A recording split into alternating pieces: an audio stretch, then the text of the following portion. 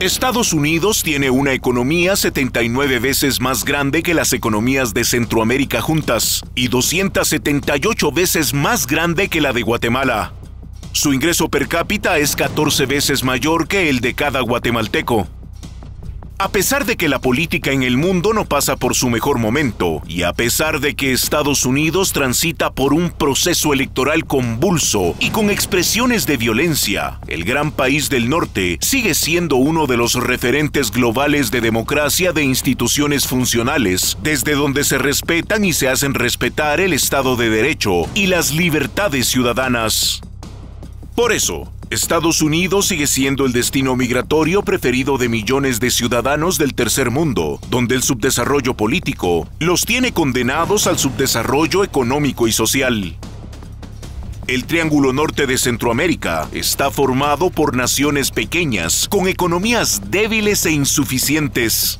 Sus dramas sociales y políticos desbordan su capacidad para encontrar consensos y tomar las decisiones que resolverían sus problemas. La incompetencia, la corrupción y el narcotráfico tomaron control de la mayor parte de la política partidista, desde donde se promueve y se facilita la captura criminal del Estado y el vaciamiento de la democracia. Así, fuerzas de seguridad, cortes de justicia, poder local y otros grupos de la sociedad en nuestros países están a merced del dinero de la corrupción y el tráfico de drogas. Esto nos convierte en una amenaza a la seguridad hemisférica. Agencias de seguridad en Washington afirman que el 80% de la droga que llega a Estados Unidos pasa por territorio centroamericano. El narcotráfico se ha convertido en el cáncer de la política y en el sicario de la democracia. Solo como ejemplo, las mismas agencias de seguridad del norte afirman que 22 diputados del Congreso de la República de Guatemala están vinculados directamente a cárteles de la droga. El flagelo del crimen organizado, la migración ilegal y otros delitos transnacionales obligan a que Estados Unidos tenga embajadas con fuerza y presencia en la región. En los últimos años, llegaron a Guatemala embajadores que, además de velar por los intereses de su país en temas de seguridad, han promovido el fortalecimiento de nuestra democracia y sus instituciones y nos han apoyado con múltiples programas sociales.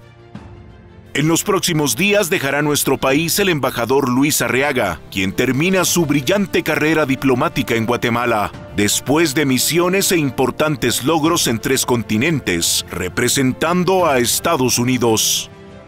Lo releva en Guatemala el nuevo representante de Estados Unidos, el embajador William Pop, un diplomático de carrera que ha ocupado importantes posiciones, representando a su país y quien posee amplia experiencia en América Latina y en África. Tiene una maestría por la Universidad George Washington y otra por el National War College y es experto en estrategia de seguridad nacional. El embajador Pop llega a Guatemala en un momento en el que los grupos criminales que buscan impunidad y pretenden consolidar la captura criminal del Estado intentan manipular e infiltrar las cortes de justicia y tomar control de la Corte Constitucional. Damos las gracias al embajador Arreaga por su legado en Guatemala y damos una cordial bienvenida al embajador Pop, a quien, sin duda, le espera una misión de importantes desafíos y oportunidades en Fundación Libertad y Desarrollo y desde esta tribuna, como siempre ha sido, la Embajada de Estados Unidos tendrá, además de nuestro agradecimiento, todo nuestro apoyo para luchar por el fortalecimiento institucional, la consolidación del Estado de Derecho y el desarrollo para Guatemala.